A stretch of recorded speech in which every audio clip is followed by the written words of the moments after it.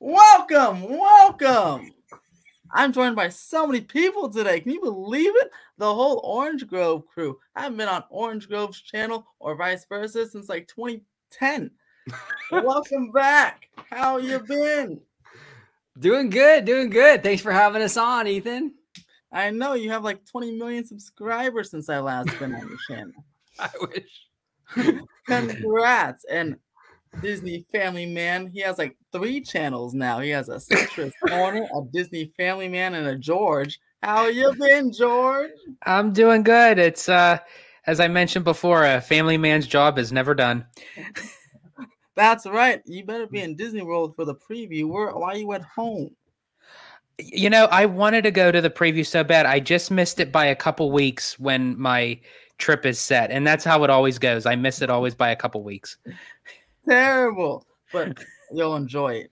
And then of course, the technical wizard, not the theme park one, but the technical one. Oh, Dre Vash guy with his movie level setup over here. hey, hey, hey! What is going on? What is going on? There you go, right Hello, there, you right? got the noises, you got the booms, the bangs. We love it. Freshly squeezed every day on the Orange Grove channel. Orange Grove was like three channels, went from one to three, and that's super cool. So subscribe for all three channels. Boom. So today we're talking Disney. Datney Disney. I know Dre and George and Chris have lots of Disney thoughts. You can check out all their videos with their interesting Disney thoughts right after this. We're going to talk about D23 first. D23. MiceChat seems to think a new Tomorrowland's coming. What do you think, Dre? Oh yeah, okay. Well, uh, hey, you know, I think we, I think, you know, I, I think we addressed this in in a in a previous video. But hey, you know what? You know, my thoughts have kind of expanded. They, you know, they've they've you know kind of changed a little bit. So I'm glad you asked. Uh, listen, when I saw MiceChat actually come forward with that kind of, you know, that kind of information, I was like, uh, it, it stunned me because it was like, wow, this is Dusty. You know, he doesn't really, you know, mince words, you know, with his uh, with his outlet right there, and that the fact that he he he said it was he was he expected it. I mean, that was pretty profound. And then we got uh, Walt Disney World Disney Today, Tom Corless, saying pretty much the same thing uh, that they expected at, at, at Tomorrowland at D23 Expo. And and honestly, I, I was pretty shocked by that because everything that I had been hearing up to that point uh, pointed towards, you know, like, you know, small additions or small changes to Tomorrowland, but nothing on a scale of, uh, uh, of, of an entire overhaul. Uh, so so I got to be honest, it, it, it shocked me. Interesting. I know, right? Because Chris, you mentioned that because I think you made a tweet about Toontown. You're like, oh, they chose Toontown over Tomorrowland. So you must be surprised as well. Yeah, I am because uh, look, Tomorrowland doesn't really have a lot of IP possibilities, and I've said this before. Um, you know, they kind of gave Star Wars its own thing, right? Its own Mhm. land. They gave Marvel its own land. There's not a whole lot they can do now with Tomorrowland. I, I like. I know a lot of fans are going to be like, "Well, wh- what about WALL-E? Oh, what about Big Hero 6? and, and, and I- and I love those franchises. I love those franchises. I'm a huge Baymax fan, but I just don't think those are really heavy hitting franchises. Now, I will say this mm-hmm. though, this is a little bit of a caveat. With Galaxy's Edge, there's like a year and a half in the Star Wars timeline that you can actually utilize for that land. It's right between um, Last Jedi and Rise of Skywalker. There's not a whole lot of lot of space there. so so maybe they'll they'll incorporate some Star Wars into Tomorrowland. I have no idea, but it's interesting. It's very very interesting. I'm very very surprised that the pri- that Tomorrowland, assuming what MiceChat is saying is is is true. It's going forward. I'm surprised that- they're taking it as seriously as they are. You know, I mean, Fantasyland can get an expansion and they can utilize billion dollar franchises like Frozen and Tangled and what have you. And instead, they're they're kind of overlooking that and going into Tomorrowland. It's very very surprising. Hey, look, I'm not going to complain. I would love to see Tomorrowland get redone. I want it to get redone. It's it should be a priority, but it, it is surprising to say the least, in my opinion. And uh, George, your thoughts? Um, well, as echoing of what uh, Mr. Vash Sky had brought up, you know, when you know Dusty makes a statement as big as, "Hey, we may be hearing about a Tomorrowland redo." Uh, at the D23 Expo, a lot of people, you know, eyebrows raise up. You know, you have everyone's undivided attention because, you know, he usually knows what he's talking about, and he's usually quite, you know, on the money when it comes to those kind of uh, rumors that go around the company. Um, would I love to see it done? Absolutely. I think it's more of the aesthetics of the land itself Yeah. that would probably get a a major overhaul rather than just adding more IP into the land because that land in particular doesn't really have too much to fall back on. They tried it with Meet the Robinsons. Uh, they tried it with the live action uh, Tomorrowland film, which great movies, by the way. I love both of them, but Yeah. there's nothing really there that can really hold up the land um, because they just weren't heavy hitters at the box office. Now, to mention what uh, OG was mentioning about with WALL-E and Big Hero 6, I personally feel like they would work out in the land, but uh, we had discussed it on his channel before, but they would be more of a um, a uh, background sort of um, not like the the front runners to move the land along as far as with a change like they would just be there just to kind of be like the supporting cast if you will Mhm. um, but my thoughts that if they were to do a uh, Tomorrowland overhaul, it would more so be the the outer skin of the land itself, and possibly move the uh, the the jets back. Possibly, I know that's a heavy hit because it's kind of an eyesore to have them right there to Yeah. block the the entrance point of Tomorrowland. Yeah, and George, you brought up a great point, and we brought this up on my channel a few days ago. But like Tomorrowland's problem isn't really a ride and attraction problem; it's an aesthetics problem. Mhm. You have Space Mountain, which is very popular. You have even Nemo submarines are pretty popular. Astro Blasters, again, popular. Star Tours, popular. The attractions aren't the problem. It's the aesthetics. It's the rotting people mover track. It's it's just mm. the way that land looks more than anything. If they can really nail the aesthetics, I think we're in business. You know, now preferably I'd rather have like everything. I want good aesthetics. I want the mm. Tron coaster. I want all of it. But if you had to pick one or the other, I think I'd pick the aesthetics because that's really where that's really the Achilles heel of Tomorrowland right now, I think. And I think I think a Tomorrowland overhaul would be largely limited to that, right? I think it would be largely limited to let's redo the exteriors of some of these buildings. Let's get rid of the old people mover tracks. If we do do something, you know, are we going to reuse the tracks in that instance? Probably not, you know. And Right. then I mean, maybe talk about you know getting rid of the Carousel of Progress or Innoventions building, but you know, it's those things that are kind of holding the land back. So I agree with you, OG. Uh, and that's why I was kind of surprised that they would even attempt to do something like this.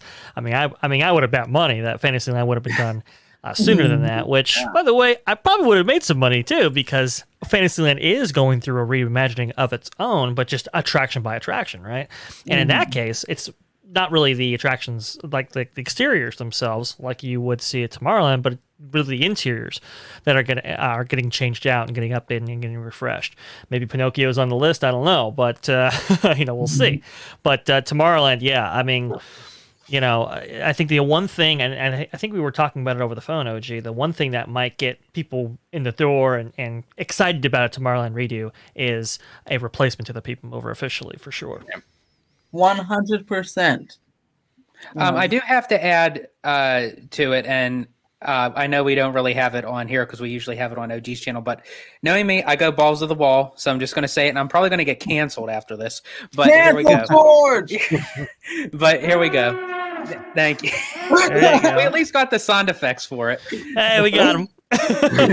but um, I personally feel, and I'm sorry, uh, Dave from Fresh Baked. I know that you're a big fan of this attraction, Oh. but oh no. uh, y- you have to honestly, me take out the uh, Autopia cars. Yeah. I'm sorry, Oh, thank that's that's a huge prime real estate that they could Yeah. use with Tomorrowland. And me personally, as far as the subs go, I would keep the lagoon. And I personally would get rid of the subs because the lagoon is gorgeous. I mean, just Yeah. the outlook. You could literally turn that even into like um with Skull, and you could actually attach that to a Fantasyland expansion with like uh, Yeah. Skull Mm. Rock and have it more like a Neverland theme. And if you could tie it into an updated version of a Peter Pan ride, sort of kind of how they're doing uh, overseas with the same type of um, ride system for Flight of Passage in Pandora, but it's going to be themed to Peter Pan. You know, as far as like that kind of thing go, because you could break that up. So part of it would be for Fantasyland, and then the other part would be for Tomorrowland. And, and that's a great that's a great point you bring up, George. Is that like a lot of fans will be like, well, just get rid of the submarines, you know, just get rid of the subs. But you, they don't understand that you get rid of the subs and you're risking losing the aesthetics of the lagoon. Mhm. Because, like what you said, George, is fantastic. A Skull Rock, you know, but we don't know for sure if Disney's going to go that route. I would hate to lose the submarine lagoon for a big gray box. Yeah. For- Yeah, know see now if they were, yeah if they were to get rid of the the submarines and they take the lagoon with it, then I'd rather keep the subs if it's going to save the yeah. lagoon. And that's a big risk. That's a big risk with losing the subs, you know? I'd rather Yeah. lose Autopia. Sorry, Dave. I'm, you know, I'm fairly certain that you could integrate some design that would that would incorporate the lagoon, but in just just a new attraction that takes place just beyond it. I I, I think that's a reasonable uh, thing that one can do, and maybe that's part of the reason why they refurbed the lagoon the way they did. You know, maybe it's like, hey, listen. You know, maybe, maybe, hey, maybe Finding Nemo Submarine Voyage might not have a long-term future, but maybe the lagoon does. Uh, you know, it's it's extremely photogenic, and it can it could it could provide all kinds of uh, possibilities and ideas Yeah. uh, for for an attraction beyond its borders at, at, at some time. You know, uh, it's interesting that you bring up you know Neverland, you know all that kind of stuff. The reason. And a lot, you know, a lot of people don't know this, so let, let me go ahead and share this with you. Uh, so, Little Mermaid, the current iteration of it, being an omnimover type attraction, was originally envisioned for the space where Buzz Lightyear Astro Blasters currently sits. People think, what? I mean, you know, that doesn't make sense. You know, why would they ever do that? And it was like, well, we need to, you know, fill up this old Circle Vision Theater with something. It might as well be that, but take the entrance to, you know, on the Tomorrowland side and switch it over to the Fantasyland side. And there you go. That's your attraction, right? Interesting. kind of a crazy concept right there. But I think the other thing that you would need to do, you know, uh, whether So it would, it would uh, sorry, so it would have been more like how they did Toy Story Mania done in Hollywood Studios, where the entrance used to be in Pixar Place, but then they sealed that part up and it became the back part of the the show building and just reversed it on the other side for Toy Story Land. exactly, exactly, yeah, it, would- it'd be a it'd be a similar similar thing. But uh, you know that didn't end up happening. We got Buzz Lightyear instead, right? Uh, but but I think the other thing that might need to be adjusted is that. You know the back of that show building of Buzz, and it's kind of like flat. It's not all that appealing. That might need to change as well. Yeah. Yeah, no, hundred percent, hundred percent. And, and you, you brought up an interesting point, Dre. Real quick, I just want to say that you brought up an interesting point in, in terms of like a building that sits in a land and utilizing the opposite side of the building for an Yeah. entrance for a different land. I don't know. I've been saying this for a while, but I think that's a definite possibility when it comes to the animation building over a DCA. You have a Oh, massive, absolutely. Marvel. right? You have a massive building, massive building that Yeah. really, I mean, come on. I mean, for, eh, us nerds love it. We go in there, we can watch the, big, animated movies, Mhm. but they, they can do a lot with that building. It butts right up against the Avengers Campus. You can Yeah. put the entrance to it in Avengers Campus. They could put something in there. Keep an eye on that building. I'm telling you, I wouldn't be surprised. 100%. Good No, point. an indoor coaster. That's just You never know. You never know. No. So, do you guys think they'll do the Tomorrowland renovation? If so, do you think they'll do it right, or do you think they'll cheap out? Oh boy. Oh, Uh, why don't you great. guys? Why don't you guys?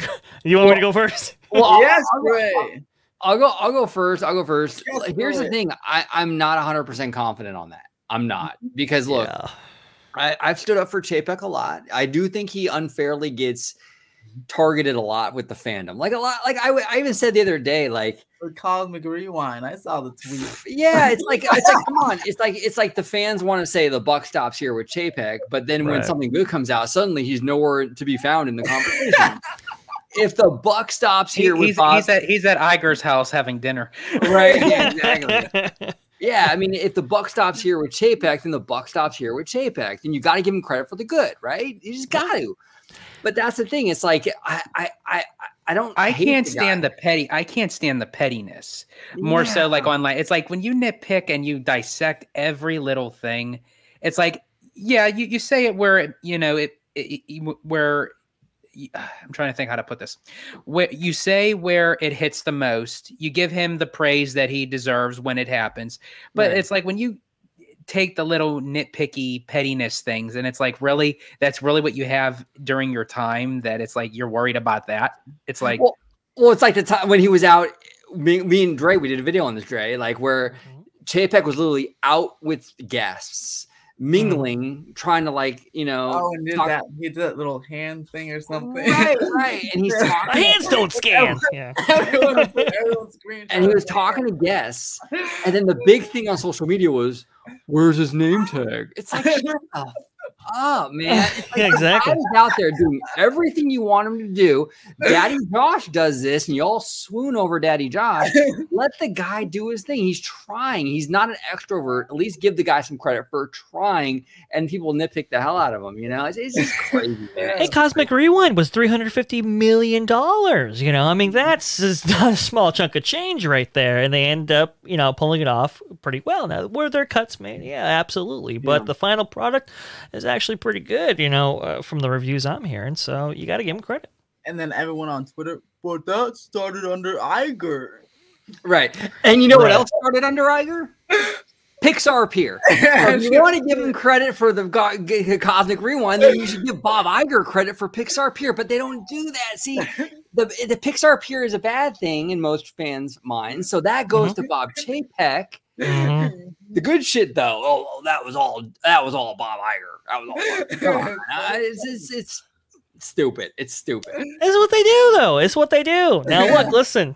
You know, I, I mean, you know these these guys. You know, it's like it's like they like you know my my example that I always bring. You know, it's like Chapek's walking into the Village Haus and going, "Oh yeah, that chicken sandwich that's got to be fifteen ninety seven. It cannot be thirteen ninety nine. You know, it's like he doesn't. He's the CEO. He doesn't operate on that level. Obviously, he has mandates. Obviously, he has he has instructions for his you know division heads and so forth. But come on, he's not. You know, he's not the guy getting rid of Hoop Doo Review or whatever, or you know. Uh, getting rid of finding Muslim.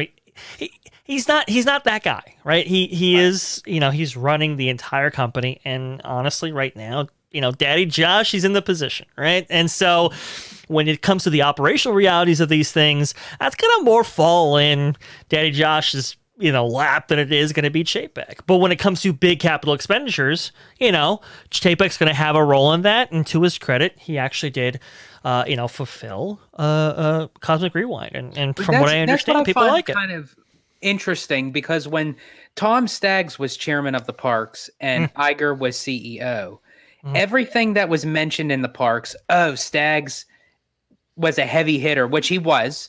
But I'm just saying this to make a point. And then there's Bob Iger as the CEO. Right. Now that Josh is running the parks, it's like okay, nowhere to be found, no, not seen, not heard, not spoken for by the Disney fans. But it's the CEO's issue rather than the parks chairman. Yeah. the, the buck. That's a that's a laughable thing with fans. The buck doesn't. The buck only stops here because that's the convenient way to blame Chapek. The buck didn't stop with the CEO when Pixar Pier premiered in 2018 and Iger was the was the CEO. No, no, no. Then the buck didn't stop. The- Here it was Bob Chapek. He ran the parks. Everything stops with Bob Chapek. It just it's mm-hmm. convenient where we always blame Chapek for the bad shit. And look, the guy wouldn't have been my first choice, but we got to be intellectually honest with ourselves Yes. and at least give credit and blame where it should be. That's all I'm saying. That's all I'm saying. And and Yeah. a lot of people have to understand it. Even though he is the CEO, there's many other arms of the company that people are intertwined Right. working on this stuff. Right. they're teams of people and and all those people you know have a have a hand and role in in in, in a great many things. And being intellectually consistent now going back to the tomorrowland question of whether or not it's going to be actually done well or not right? Look uh you know yeah to me this has all the hallmarks of another 1998 tomorrowland all over again to be honest with you. And and, and honestly it's it's I think there is a little bit more ambition than there was uh, back in that time, right? And I think there's a little bit more will to go a little bit further than they did back then.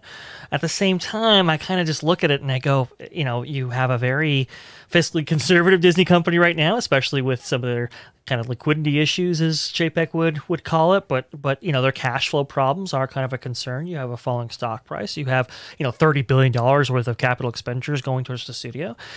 It, you know how much of that is going to get funneled towards the parks? I'm not really sure. And it's like, you know, like I was telling OG over the phone, do lands book vacation packages? Historically, they haven't.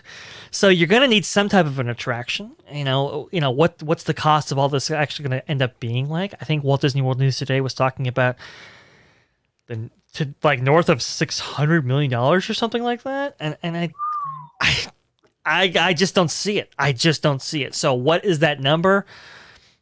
You know, I mean, Tokyo is figuring like you know four hundred million dollars around there. What's that number today? You know, going going for Tomorrowland domestically in Disneyland. I, I I have no idea, but it can't be good. I would like to see it get done. Do I think it's going to be in the time frame of how people are suspecting it to be at the expo? I don't think. Um, as uh, Vash had mentioned, it, it's not going to get people to say, "Hey, let's go and see a new exterior for Tomorrowland."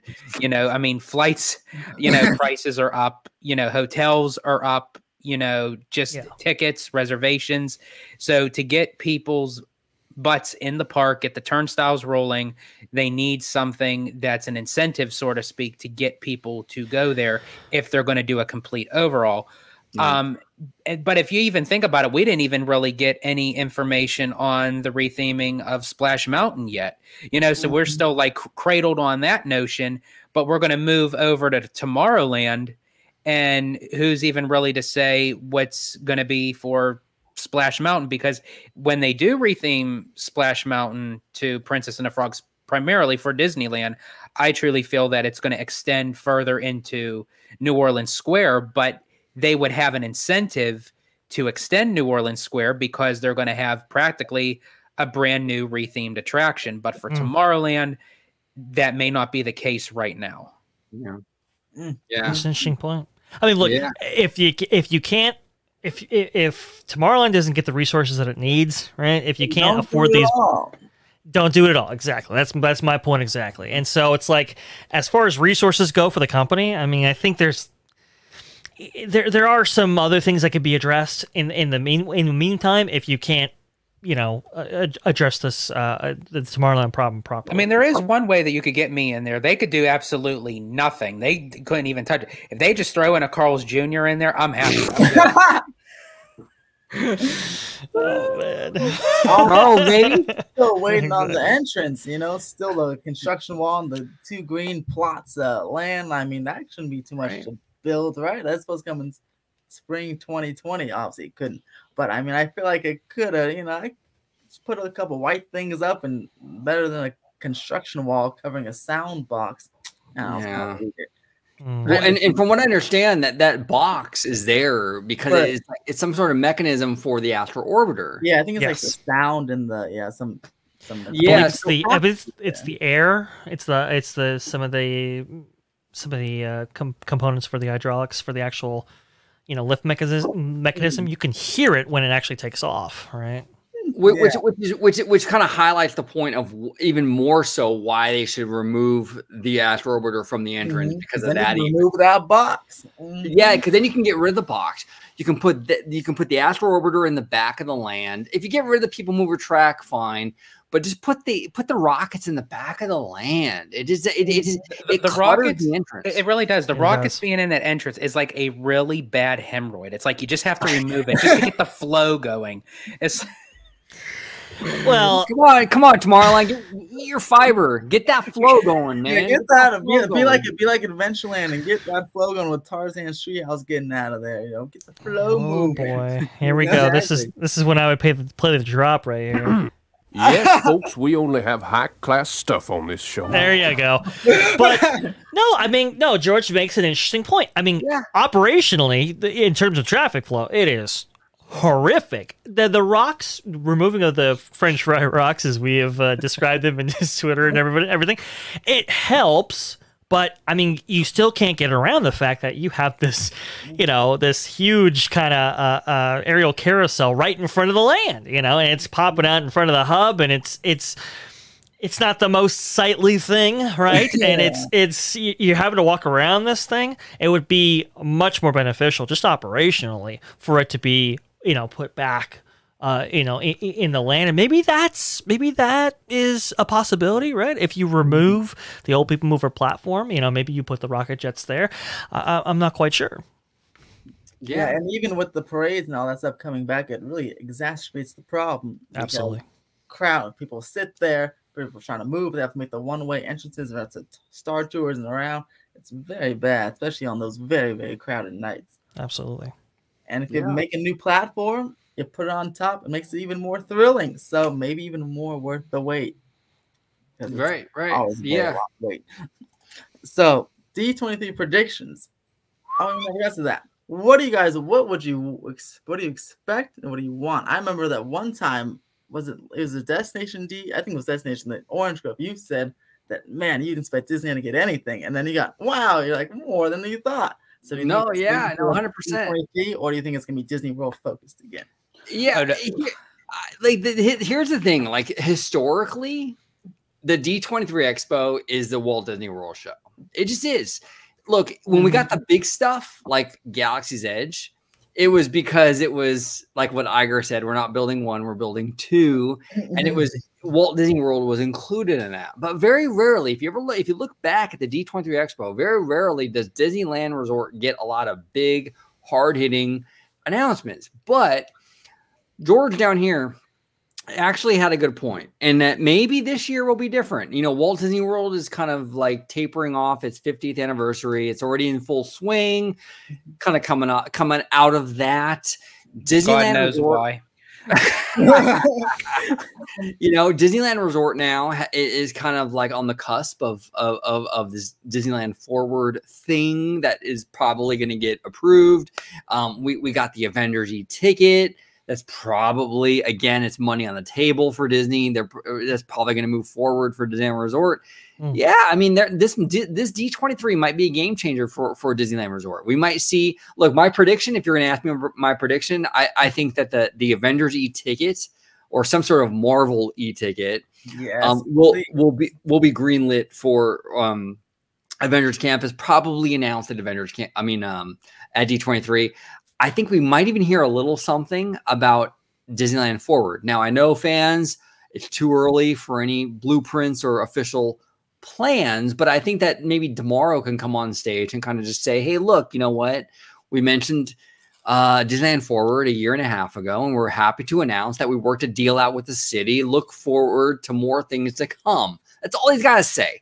So yeah. I think something like that might be on the table for D23 if we get those two things and what Dusty was saying with MiceChat saying that like Tomorrowland is expected to be announced, oh man, that's a huge success for Disneyland. We get Tomorrowland, we get a, a very vague um, uh, news about Disneyland Forward, we get the Avengers e ticket. I'm a happy Orange Grove. I'm a happy Orange Grove. I'm good.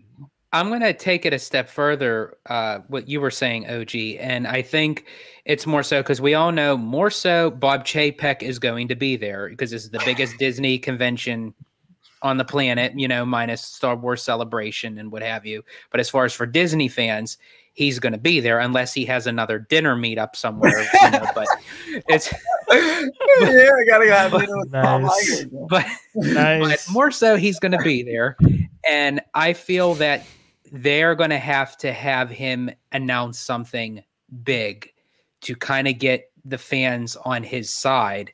Yeah. And again, my prediction that I mentioned this before that they are going to have Josh uh, come out with Bob and they kind of do it as a pair duo to make all these announcements because I don't really know how the fans are going to react when they hear his name, you know, as he's walking up on stage, you know, and it's petty. Again, yeah. that's more petty stuff, you know. Well, well, and George is brilliant. George is fucking brilliant. And look, Chapek, if you're watching this, take George's advice. If Chapek, if you walk out with D'Amaro the fans' heads are going to explode because they're not going to know if we boo you, we're going to be booing Daddy Josh. They don't want to do that. They don't want to do that. So you come out with Daddy Josh and he's cover for you. It's going to be a lot harder for them to boo you, Chapek. I'm telling you right now. I'm sure Christina Shockey will agree with me. I mean, yeah. We'll come I- out with a nice diet plan for Weight Watchers and get, hand that out to everybody. He's got to get his. Uh, Chapek's got to get some uh, get some advice to to whoever dressed uh, Iger. you know, just like him. You know, oh, I gotta look fashionable. Here we go. You know. Um, but I, no, but I do think, but I do think Disneyland Forward is going to get mentioned. Nothing specifics where it's like, oh, attraction after attraction, new land, new park, new this. But I think they are going to start the point, especially because this is going to, this whole expo, the whole theme around it is the 100 years of the company. So I think, and it had mentioned, okay, what's the next 100 years going to be? And that's what Disneyland Forward I'll is all you, about. a new Target collaboration. Oh God. Oh man. Oh, the resurrection of the uh, Target dog. there you go, bullseye. I, I wait. I swear, I waited all night to get myself a, a, a freaking ten dollar Target gift card.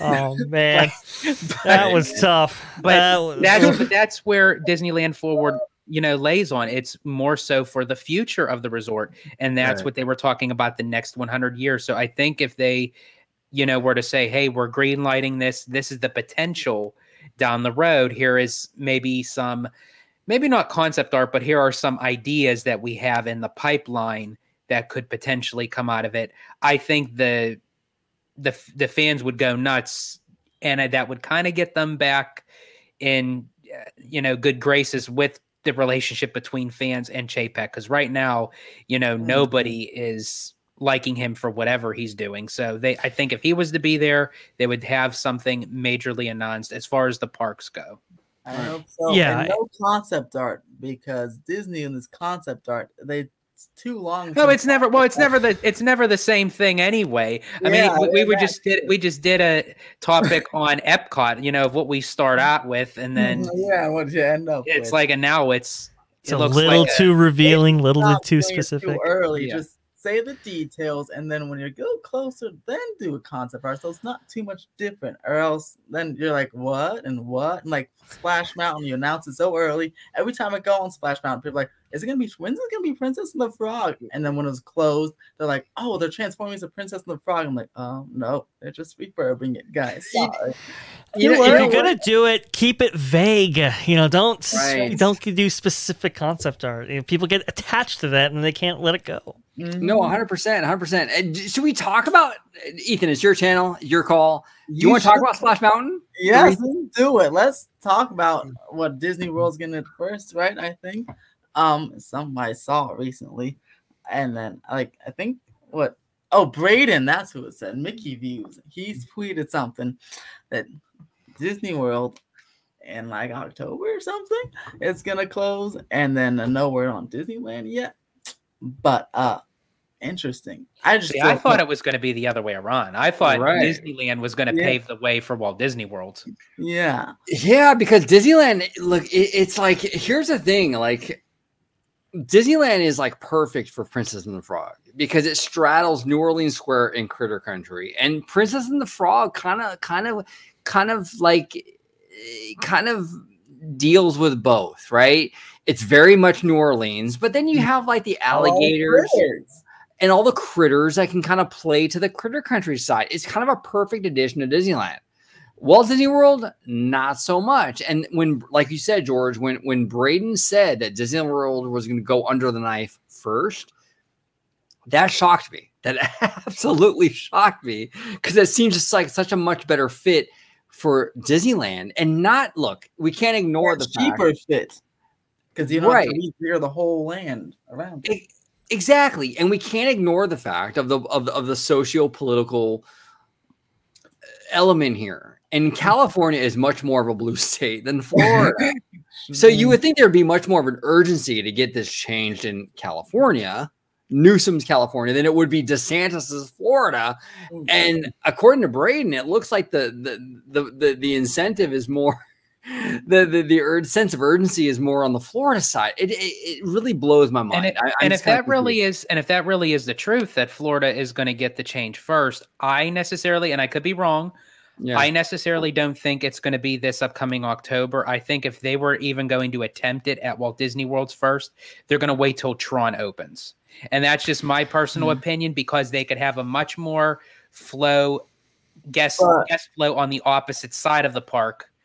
And And, and why that's they can have that down. Well, are you saying it's not going to close until 2075? yeah. that's the That's a speculation, long right? time. but that's why that's why I wasn't necessarily that surprised. You know, to George's credit, I, I wasn't necessarily surprised that Walt Disney World was getting it first. Two reasons, but one big one being that Tron was going to open. re- Right. You know, uh, I mean, I know it's a kind of a meme, but it's we, it was going to open relatively quickly. I mean, they are working around the clock to get that thing open, at least by. Oh, I'll probably say quarter quarter one, 2023. I you know, haven't which would put it, it moved. It's moving quite it's vastly. I moving mean, like this is the most I've seen construction on that thing. Right. in- So think about it. You're gonna get time. you're you're gonna get a traction that's pr- you know decent capacity, right? That will open up, open up, and that will open the opportunity for Splash Mountain to actually go down. Uh, you know, and they wouldn't have suffered that significant of a capacity loss. Now, the, the other thing that that kind of lent me towards towards this direction of of you know maybe maybe maybe Braden is actually accurate is because from what I understand, changing out you know Walt Disney World Splash Mountain is a much more straightforward endeavor than Disneyland Splash Mountain. You know, being that it was the original, it was it's the older one, and and it was built to a certain code and to a certain degree that makes it much more challenging, at least in Just like California.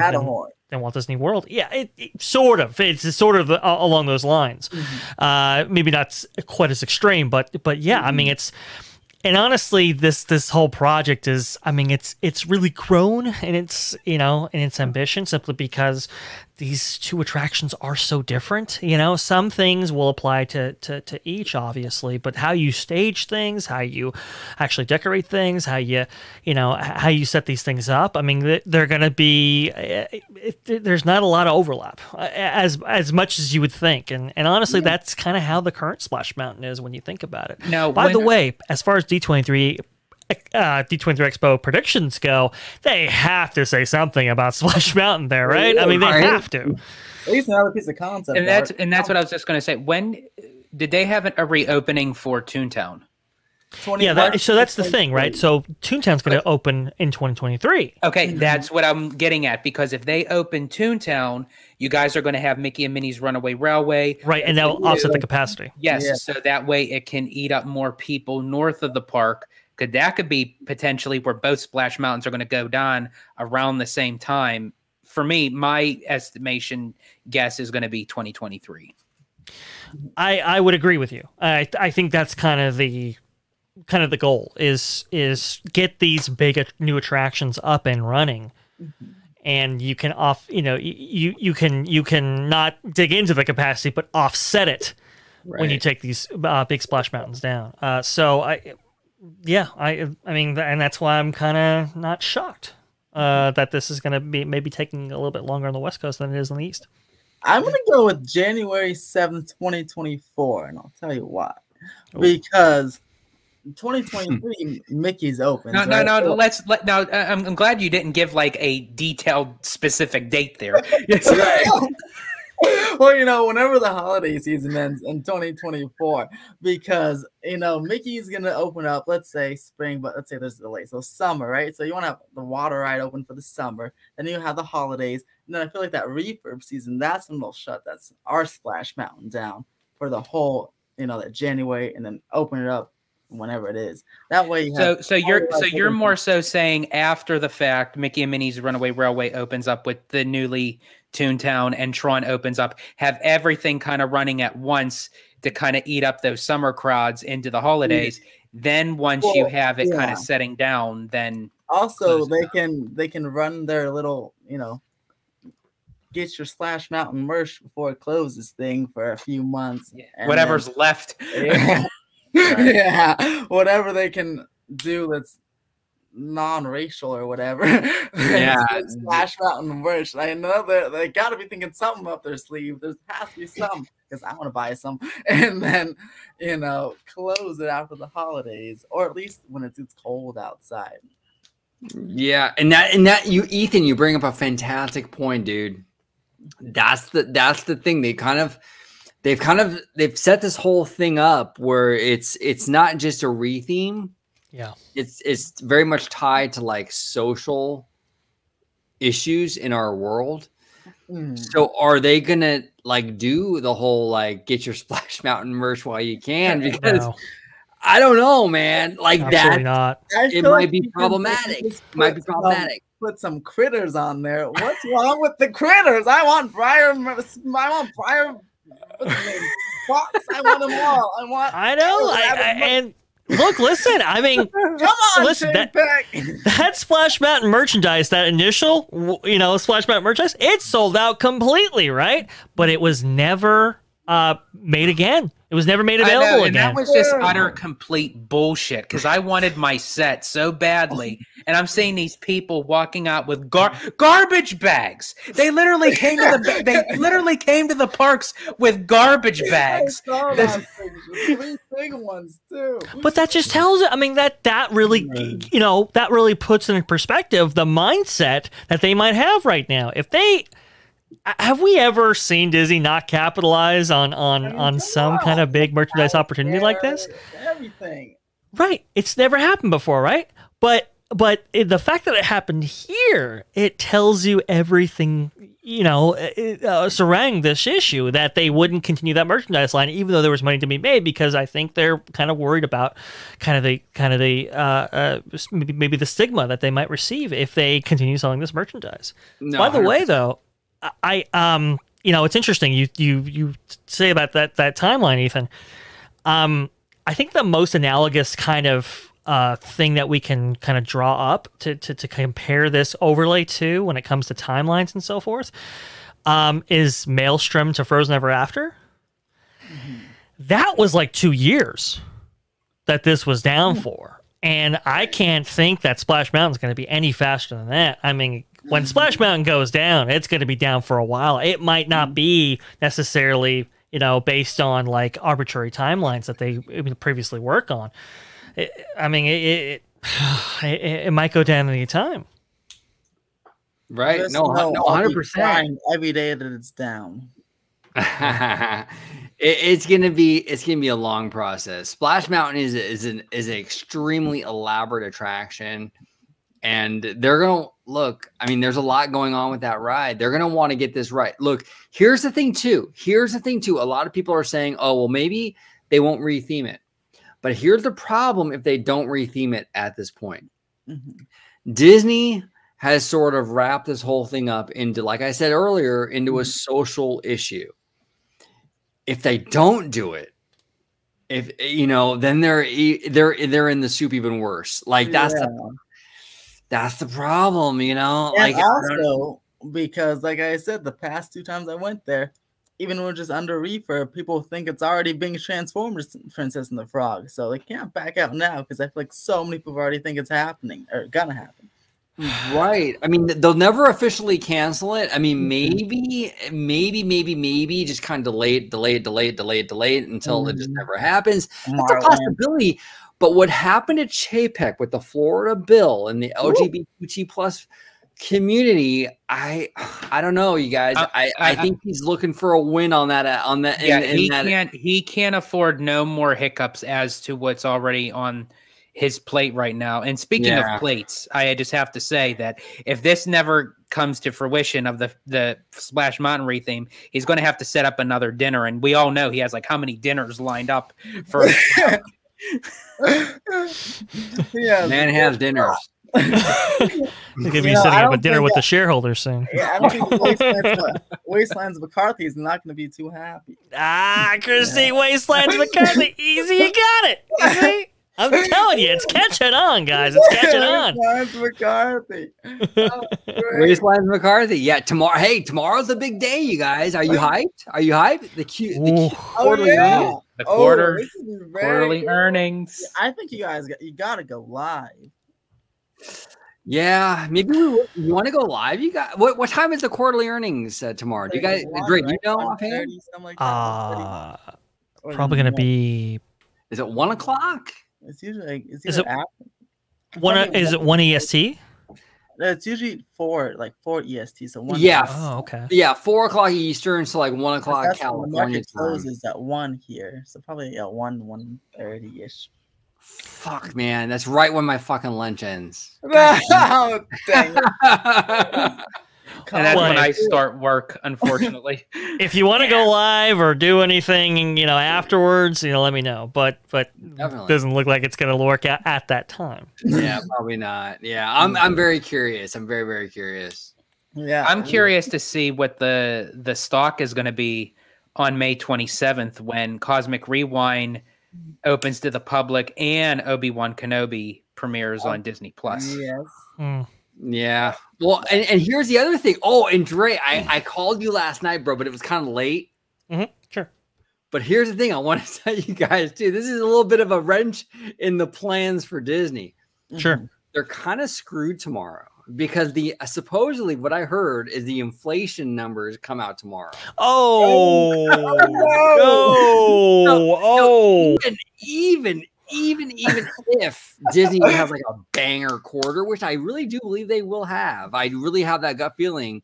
Mhm. Uh, those inflation numbers are going to really mitigate their their earnings. I well, think. and you know those inflation numbers are gonna be. Now, sorry, theme park wizard. I don't mean to get into politics too, too much, but you know we got to say it because it no, relates to Disney. it. Okay, here's here's the problem. Okay, uh, Biden is talking about inflation now. He's talking about inflation now, even though we're on the eve of maybe a historic Supreme Court decision, right? You know, but he's talking about inflation. That means that inflation is going to be bad. Those CPI numbers are going to be that that's not going to be good, right? So the stock might go down anyway.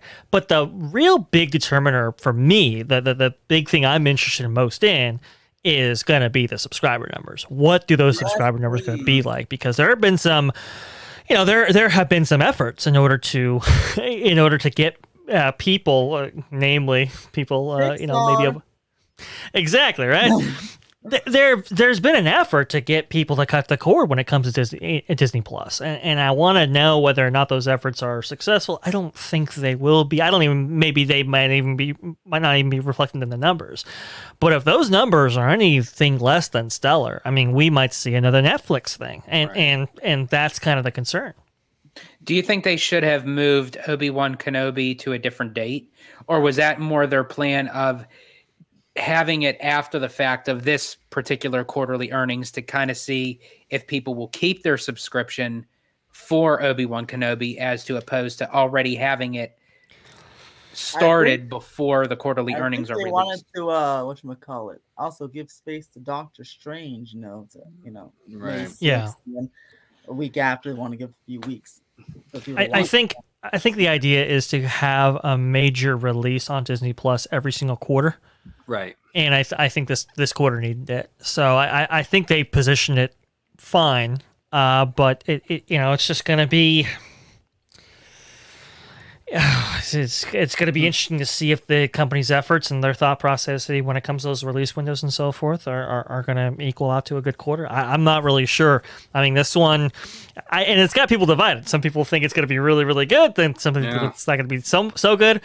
April was a horrific month for the companies. It's going to be really interesting to see. Well, and here's the thing too. A lot of the Wall Street um experts and analysis are like, oh well, you know what? Netflix had a really bad quarter, therefore Disney will have a bad quarter because of Disney Plus. But you know what? That might not necessarily pan out because you have to also have to remember our friend of, of the channel, Alia. Uh, she sent me an email actually saying how like a lot of people are actually actually leaving Netflix to go to Disney Plus and like I think even Paramount Plus. Mhm. So the, the the the loss you're seeing for Netflix might be them jumping ship from Netflix and going to a Disney Plus. Yes. But but Dre, you brought up a great point where there is this contingent, this political aspect of this whole thing where conservatives are like, no, we're going to cancel our D plus because of woke Disney. Mhm. That's an element of this whole equation, and that's that's going to be a big part of it too. So, I'm super super curious what those numbers are because it can go really either way. Honestly. And and here's the thing: the the guy who broke the you know reimagine tomorrow kind of uh, program, right, and the videos that came with it and so forth, Christopher Rufo, he's actually part of an effort, a campaign to get you know people who have seen his work, who have seen these things go viral and so forth, to cut their Disney Plus subscriptions. And I just gotta wonder whether or not that's going to be successful. You know, is this is this kind of noise that we've been hearing? Is it actually going to generate into something tangible? I, I, I'm I'm really not sure, and that's why I'm I'm most interested in those. Now, I will say, you know, as opposed Netflix, and here's the other thing too.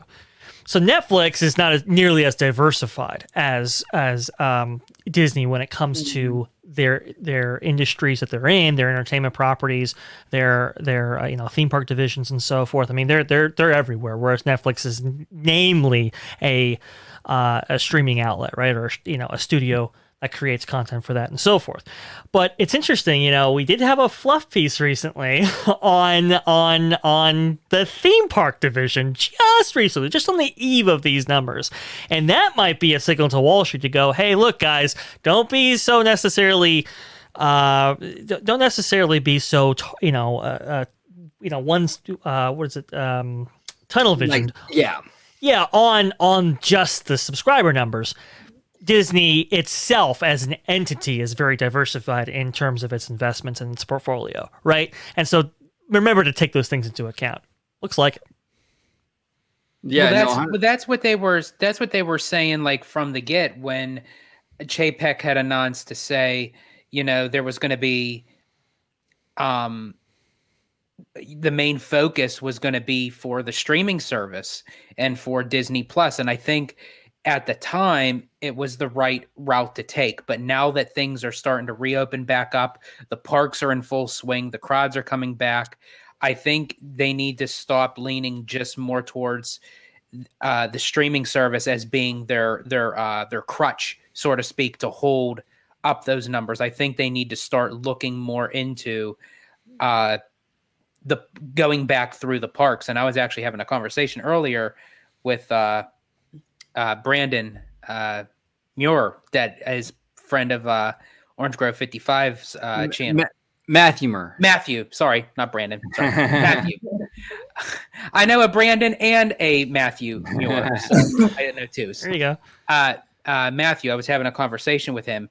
Uh, and I had mentioned that I think more so that they are going to lean into uh, looking more into the parks rather than the the streaming service. And I think that's where they're going to kind of switch roles a little bit. I feel in time. Thank goodness. Oh yeah.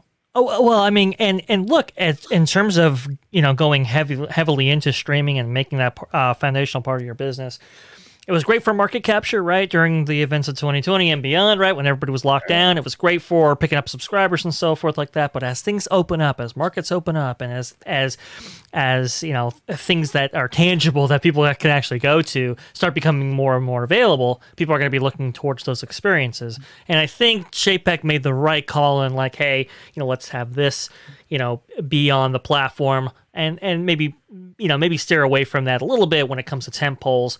Uh, you know, uh, Doctor Strange, uh, you know, uh, Multiverse of Madness, I think is a good example of of making the right call, getting that in the theaters, and kind of you know capitalizing on that uh, and that end as well. I think the honeymoon phase of the streaming, you know, thing is is kind of over. I, obviously, the streaming wars are still going to you know play a role, but but you know it's got to be weighted uh, uh, out. You know, um, when you have these these other um, revenue streams opening up.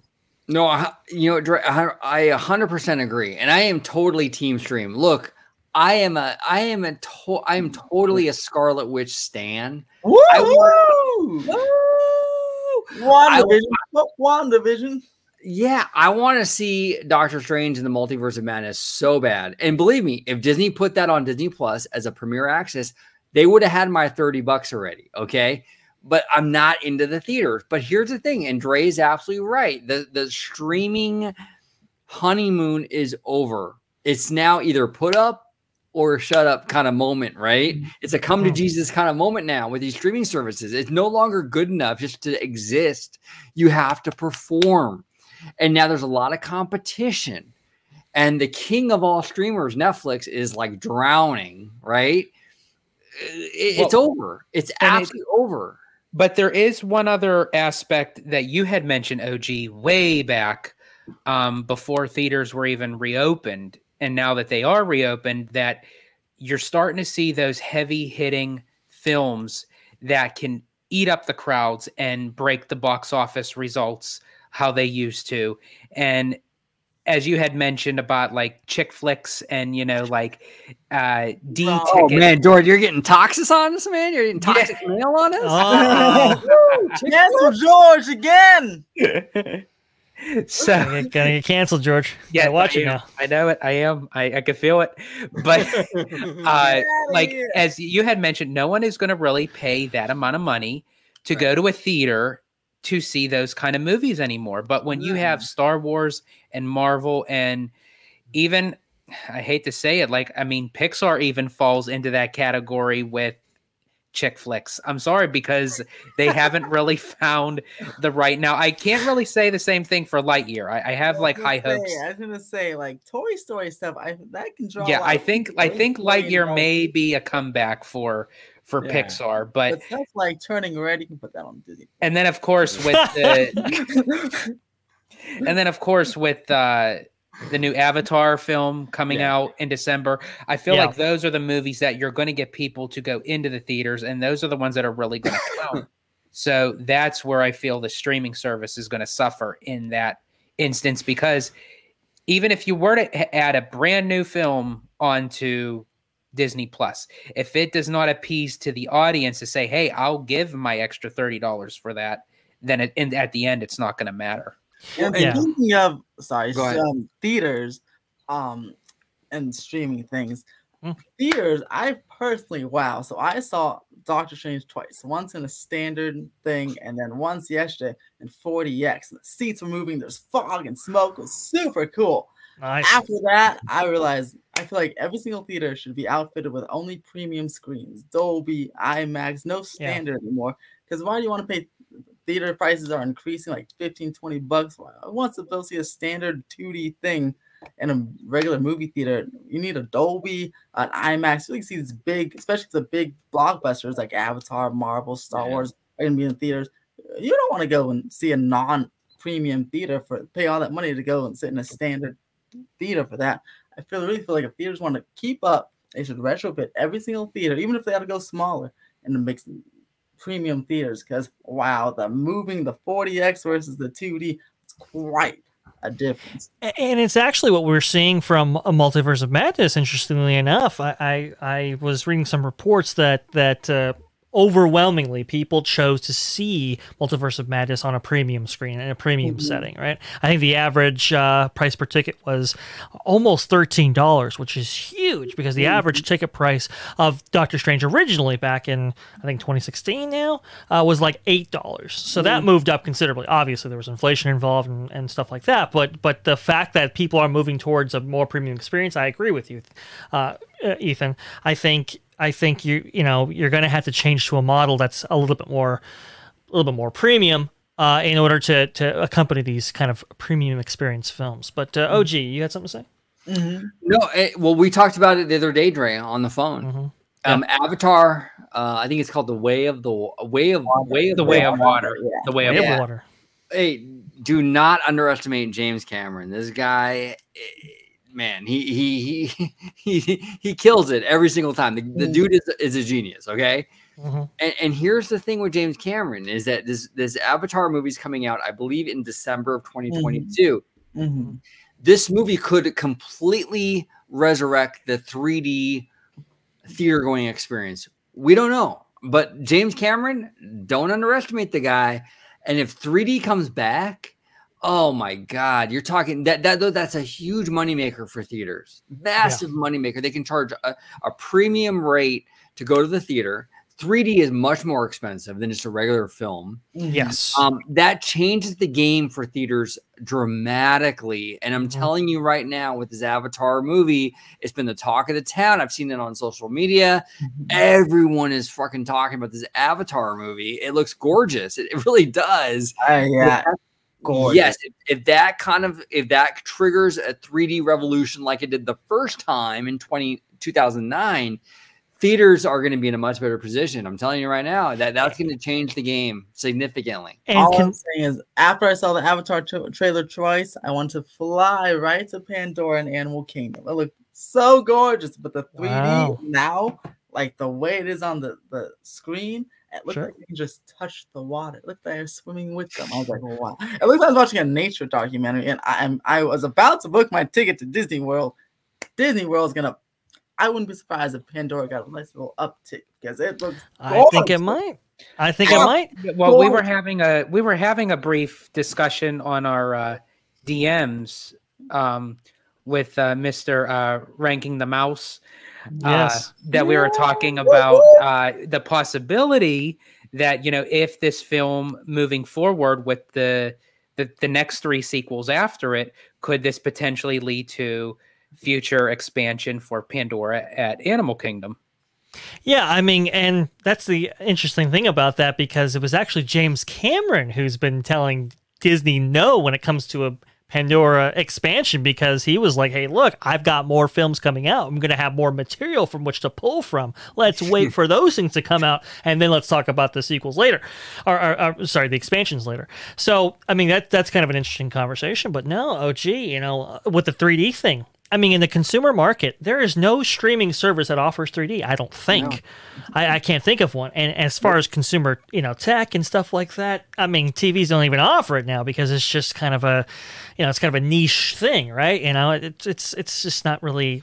It, so so there's a hole there that could be exploited if Avatar 2 decides to go that route, and and only you can only get that experience at a theater. It's a very interesting thing. Now I know that theaters were going to experiment with variable pricing. Uh, Now, um, some theaters like AMC has been charging Doctor Strange higher than other movies. higher than other, yeah, and and that would be the only thing I'd say that would that could maybe make use of those smaller screens and make use for those smaller films. But I think I think honestly, it's going to be temple all Now the this way may going be an, forward. now this may be an ignorant question, but I don't know how it is on the opposite side of the coast. Do you guys have Hmm. matinee pricing? We some theaters do. I do here. Five dollar Tuesdays and five dollar for Oh, eleven. okay. Yeah, see, because if you go anytime before, uh, before I think like five o'clock, uh, that's the matinee time. So it's Mhm. eight dollars for adults, six fifty for uh, child. we have that even with our premium screens. So Okay. Interesting. And, and I don't go to the theaters. I wouldn't know. see, there you go. There, team stream there. Although I would Orange Grove suggest going. I think the nearest to you is North Hollywood. North Hollywood Regal has a 4DX theater. I certainly seen one movie in there. It's pretty cool. It's something you gotta try like one time. yes. So cool. Sounds And- and pretty good. I, I, I- I definitely want to check out Doctor Strange because, man, like I like I said before, I'm a huge Wanda fan, and I'm hearing this is basically like a Wanda movie. It's Like, a I know- one. I, I'm just going to tell you right now, with without not giving no spoilers, they might as well should have just called it Wanda in the Multiverse of Madness. I'll just say, I'll just say They that. should have. And You sold me on it. Yeah, I mean, I'll tell you something. The movie is like this is the PG 13 and like R is like right there. right there. I mean, my friend came out of the movie last night. She goes, Was that rated R? I'm like, No, it's PG 13. She goes, How? I'm like, Oh, It is. I, I say out of all the Marvel Marvel films thus far, that one is the most edgiest, darker. It really is. And I'd probably say it's the first one that, like, if I had a little kid, I'd be like, "Mm, I even had a little bit of a not fully, but I also had like a little bit of like Van Helsing vibes, like going through. That's, That's crazy, man. interesting. yeah, no, I, I'm very, very curious about this movie. I, I, I'm probably gonna make my way out to the theater. Hell, I saw the I saw the I saw the Batman in theaters. I gotta see. I gotta Oh, see. gee, you gotta represent your girl. You gotta gotta, represent- on. you gotta- Come you saw the Batman in theaters. This is better than that. You gotta see WandaVision in theaters, and that's right. I'm calling it WandaVision from now on. Let's do it. Cool. Let's do it. Very cool. Well, What new ventures do you see Disney getting into? Like I know the time, the metaverse, any new thing, any futuristic new thing, business like Cotino. You see them venturing out into any other cool things like that? I'm still waiting on that. Uh, what is it like the, the black box sort of virtual, Oh, virtual box. reality type thing? Like if they were going to do Oh. something, anything for Tomorrowland, they could have even done Yeah. something like that in there. But You know, OG, didn't we talk about the the uh, prospect? Okay, yeah, you go, you go and do it. We did. No, me, me, me, me, and me and Dre had a had a whole conversation about this on the phone about the metaverse and stuff. And this is the thing with the metaverse, man. Like, I think it, like, I don't know. I think it's kind of overhyped. Like, I think it's mm-hmm. sort of like the, the new thing, and so people are kind of like overhyping it. Bob Iger is all in on it. He's like on the board for this. Like, well, then it meta- must be good. Right? Well, even even Bob Chapek though is all in on it. So I don't know. Terrible. It's the um, worst thing ever. I don't know. But you know, there's a lot there's a lot of talk about like the metaverse and stuff. And like, I don't know, man. I think it's kind of like right now, I feel like it's look, it looks really cool. But I think it's kind of a niche market. I don't know if it's gonna go like the way of like the laser discs or like mm. you know VR, like all the stuff like that was so promising back in the 90s and early 2000s that never really came about. I kind of feel like that's where the metaverse is kind of at, you know? I think elements of the metaverse might come into play in the future, but I think that what they're proposing right now, I don't know.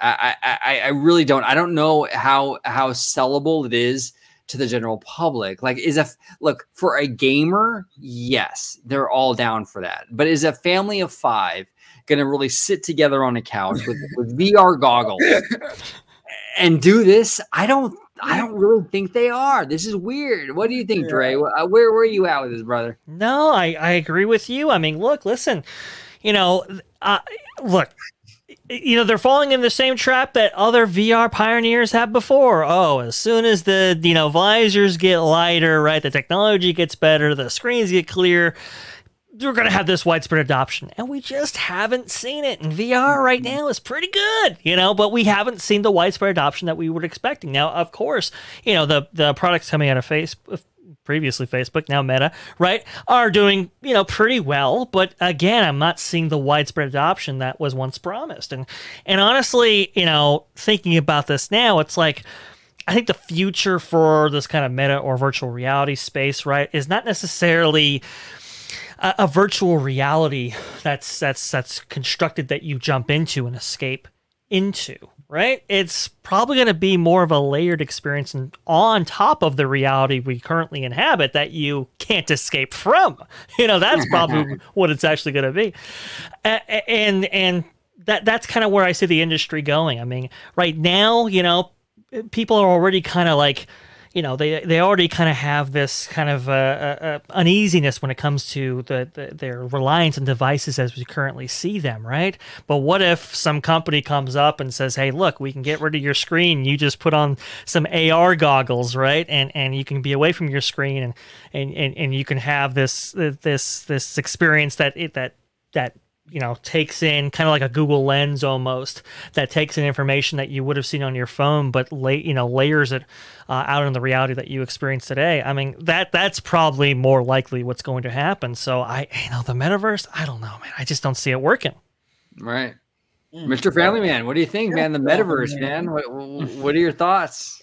I I think it's more so the fact, just like how we were talking about with Tomorrowland and Future World as part of Epcot, and uh, a lot of that it, those issues. It's when you're dealing with the topic of you know the future and the the way of tomorrow. I think uh, technology is moving at a much rapid pace than we ever mm-hmm. anticipated.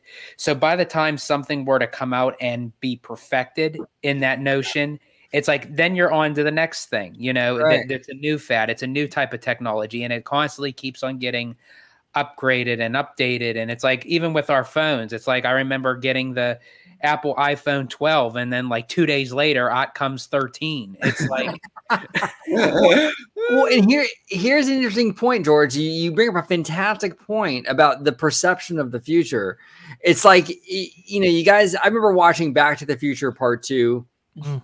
As a kid, and I was looking at like the year 2015, and I was like, awe, I was like in awe over this, like flying cars, hoverboards, all this cool shit. I was like, wow, this is dope. And then 2015 comes around, and none like aesthetically. Let's be mm-hmm. let's be honest. Aesthetically, 2015 doesn't look that much different than 1985. It really doesn't. If you walk down, you know, like a city or a residential area, aesthetically looks pretty much the same. The only thing that's changed is information, like right, the internet and the exchange of information. Cars don't fly. They don't look that super dope. I'd even argue that the cars of the 1950s look doper and cooler than the cars now. I mean, they totally mm-hmm. do Yeah. it was the aesthetics of, of this world that, that that you know really haven't changed is the information exchange that's really changed so that's interesting george that you bring that up because it really is like kind of like a ris- like the perception versus versus the reality the future could be totally different you know? It could be something totally different than what we're kind of perceiving now and and that's kind of where we're at you know? It, it, it will probably come down to that. You know, it, it's interesting because you know when you talk about that scene in Back to the Future Two with the with Yeah. 2015, uh, you know, looking uh, speaking to the, the designers of that whole uh, that whole kind of future, they based a lot of that off of kind of Asian, Japanese inspired culture and Japanese inspired ideas because the idea back then was, well, the Japanese are going to overtake us in terms of economy, in terms of all this kind of stuff, and so they're going to be a new world economic power. We had to, yeah, exactly. We had to integrate some of designs in here, right? But that just tells you the mindset of, of where the future they thought was going to go. You even get a reference of it in actually Back to Future 3, where he's like, oh, look, it's made in Japan. It's like, what are you talking about? The best stuff's made in Japan, right? Um, so, but, but, but look, the, you know, the, you know, the company that got it right, I think myself personally, the company that got the future right, I think it was Disney, and I think it was in the form of Spaceship Earth. The whole thing right there was communication and the power of communication and how communication's passed down and what it could mean for the future. And the whole Communicore, right? Uh, that was a big deal. And and like I remember going to Epcot, you know, as a kid and and and seeing like a video phone. I was like, oh my god, that, that'd be so insane, right? I can't, I can't even imagine that. And now you kind of have that. Now it doesn't have the widespread adoption as maybe the phone did back at its time, Right. but you know, it's yeah, like you said, you know, the future. It's this kind of changing And- uh, goalpost, but but you know, some people get it right, some people get it wrong. Well, you said And and you said it right, Dre. When it, when you say when you when you said Disney got it right. What Mm. movie was a Disney movie? Well, te- technically Touchstone Pictures, Mm. but Dick Tracy, and they had the watch, the Apple watches, long before the Apple Watch was even a thing.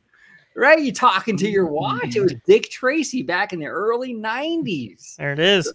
Go ahead, George.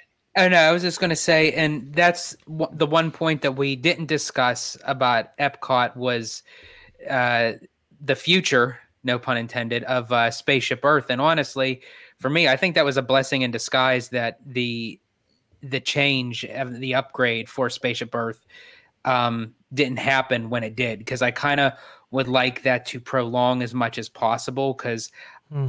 I mean, I know we got a little bit of what it's going to be. We're know we're supposed to be following this light, and it's supposed to be taking us on a journey for like a newer type of age of technology. But I love how it actually resonates back to the beginning of time, the Stone Age time, uh, the Roman times. It like takes us all the way through those pinnacle points of human history. And for me, I would like to keep that as long as possible. So, so you don't want to see it start with like the caveman times and end with like Stark Industries, is what you're saying, George? And don't forget the appearance by Peter Quill. You know, he's flying to the Z- Wonder of Xandar film, he's gonna see his ship going right through there. Yeah, there you go. Hmm. You Visited Epcot as a kid, don't you know? yeah, you know, he knows all the rides exactly by their names too. They do- yeah, precisely by their names, right? He's the biggest fan. And look, I I think Bob Chapek is a, is attached to this metaverse idea because I think NFTs are involved. Let's just be honest here. I mean, I think that idea excites him, and I think that's why he's kind of saying this kind of stuff. But honestly, I think it's the wrong play, or at least if you are going to dabble in that world, don't invest huge amounts of money for sure. I think Disney Plus is, you know, a, a- better play, and and and maybe broadening out, maybe maybe getting into video gaming. Maybe you know they You always you go mean through their it's not- cycles. so, so Might be smarter. So, Dre, you're saying that it's not a good idea to pull another seventy billion dollars worth of stock out. you know what? Let's not, you know, let's not pull a Zuckerberg and get too invested in this. now, I have a question for anyone because I get I asked this so many times and I get no answers. What is an NFT? And don't say non-refundable token. What is it? I just to me it seems like it's a picture that I can buy for some reason. Or Yeah, it's- So it's a digital asset that you can buy or acquire that is blockchained to only that item, right? So instead of like a like a digital asset that you would find in like I don't know a video game or something, right, where everybody's got a copy of those assets. An NFT is is is your card or your item or your whatever that exists in the digital space that's yours. one? Uh, I I I guess there are I don't know I I um I know I'm I guess it, it depends on the virtual world that you're in, uh, and you can go through that process. Uh, look, listen, I'm trying to, you know, get on board with this stuff too, but it's it's I, weird. I'm so like for example, in this uh, the the arena that shall not be named, I'm gonna call it Staples Center. Changed names to Staples Center. they gave me a free NFT because I was part of their Staples Center's program, and I don't know what to do. with it. I don't even know where to find it, how to use it, what to do with it. Why? I don't even know what the fuck you're talking about. It's like it's so confusing. I don't get it. Oh I man. know, dude. Look, it's, Yeah, I know. it's a, and look, I look as a gamer. I mean, all all these uh, all these uh, companies like Ubisoft and everybody else are pitching this whole thing. Oh, NFTs are going to change your industry. I'm like. Can you just create a good game? Like that's all I want. Like just Like- just do what you do, do it well. Why do you gotta follow trends? Come on. Well, Like, and- well, and that's kind of the issue. You better Well- not make the currency at Disney parks NFTs only. Exactly right. Hundred percent, and and that's kind of, great point. Great, great segue into what I was just going to say actually in regards Mm. to like video games and Disney Mhm. parks, in that they're kind of following the same trajectory. Unfortunately, like I used to love video games. I used to fucking love video games when I was a kid. Yeah, growing up in the 80s, I was addicted to Nintendo, Super Nintendo. I even got into the N64, Sega Genesis, Game Gear, all that stuff. I Mhm. started to lose interest around the time of the PlayStation when they started to like incorporate like these micro microtransactions. Oh no, no, no. Right, you got to buy memory Like, I and sh- I just like to buy Yeah. a game and that's it. right. I want to buy the game. I bought like in the 1980s. I bought Zelda, and that was that was the end of it. I bought it and I owned it, and that was the end of it. But then with the mid 90s, you bought a game, and that was not the end of it. You got to buy memory. You got to buy this. You got to buy that. You got to, you know, and it, it became drama. And that's and kind of now how you I look at it now. Now you got to buy digitally. Oh, you got to buy a starter pack, and then you got to buy the accessories to that starter pack. the Then you got to buy, DLC. Yeah, then you got to buy accessories. It's like you might as well should just go out and buy a freaking Barbie and Ken. It's like well, it's Hey. like it's the FIFA mindset. I don't know if you, any of you guys have uh, seen uh, this video game franchise FIFA, right? But it's it's all about you know these kind of loot boxes, microtransactions kind of model that has made these you know uh, these are billion dollar enterprises now, and Right. everybody and their mothers wanting to you know. Uh, wanting to get in on that, and we're seeing these kind of microtransactions at the parks. Interestingly enough, so to a guy like Chapek, that idea is extremely Anyway. attractive. Okay, Yeah. so let me ask you fellas this. As far as like with the metaverse and like the video gaming and the technology and everything, what do you see becoming of the play pavilion at Epcot? I think it's on pause. Uh, no, the Oh. play point you're gonna have to pay to enter, pay to pl- walk around, pay to play the games, pay to read, and then leave. Pay to exit. Well, well, that's the thing, Ethan. That's the thing. They, they, they only gave you part of the name. It's the pay to play pavilion. Oh, there you go. There you go. Yeah. No, look, you know, it's interesting. We we've I mean, I thought it was still on the table, but now you're seeing these uh, I guess the Mickey and Friend meet and greets are going to be in Communicore Hall now, which was going to be a major component of the Play Pavilion previously. And now it's like, is the Play Pavilion still going forward? They've installed, Well, you know, it was supposed items to be in there. The, the Wonders of Life Pavilion. Right. And they rehab that whole building and they've installed stuff in there, but it's you know, in this latest Epcot announcement, there's n- it's There nowhere was to be yeah, it found. was nothing- it's still nothing mentioned. coming. They're just figuring out ways to upcharge everything. So then, they'll Ah, there you go. Experience. Perfect. Yeah, there you go. Well, hey, if you're called Play Plus Pavilion. when you're waiting around for your lightning lane or your boarding pass or whatever, you're gonna want to stop and you know play somewhere. Well, right next door to Guardians of the Galaxy Cosmic Rewind. Go in the play pavilion and go in there, and we'll microtransaction you that way.